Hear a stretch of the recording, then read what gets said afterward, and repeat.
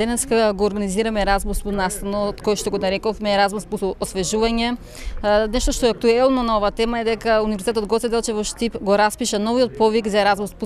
програмата кој што ќе трае до 20 октомври и овој насад е токму за нашите идни студенти за кои што сака да бидат дел од оваа програма да се мотивираат и во разговор со нашите досегашни Еразмус по студенти да можат да разговараат на оваа тема. Ќе напоменам дека нашиот универзитет во изминатиот период успеа да склучи 160 нови договори, тоа значи дека студентите ќе може да заминат на 160 универзитети во Европа, а ние и во иднина мотивирано ќе работиме на оваа програма, ќе работиме за студентски размени на нашите студенти покрај студиите и можностите за пракса и се надевам дека Erasmus Plus програмата во иднина ќе биде нешто кој што ќе биде секојдневие за нашите студенти овде, а секој година ќе имаме можност во поголема бројка да ги споделуваме нивните успешни приказни. Конкурсот е распичен за 60 студенти за студии, 30 места за студиска пракса.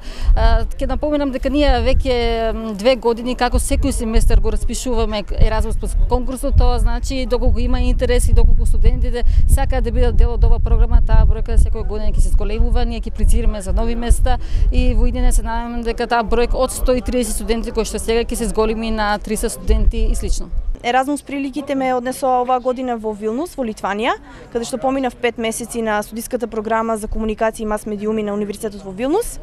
Оно што можам да го споделам со вас е тоа дека а, апсолутно е прилика која што вреди да се заземе, односно преизвик на кој што треба да му се целосно препуштите со тоа што а, овде во игра се секако академското дооформување, а, а, себе созревањето и секако а, проширување на кариерните опции, како и на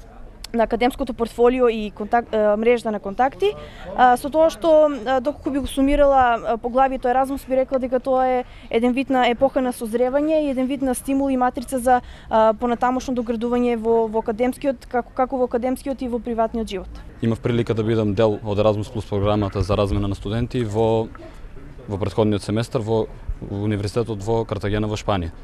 Значи Еразмус плюс искуството беше едно искуство кое што на мене ми овозможи да стекнам нови да стекнам нови нови пријатели, многу, многу нови колеги, да работам на проекти и да студирам на нов начин на студии, кој што не ми беше можеби овозможен овде,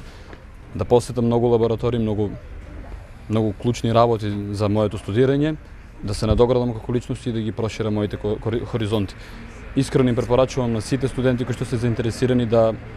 да да бидат дел од Erasmus Plus програмата.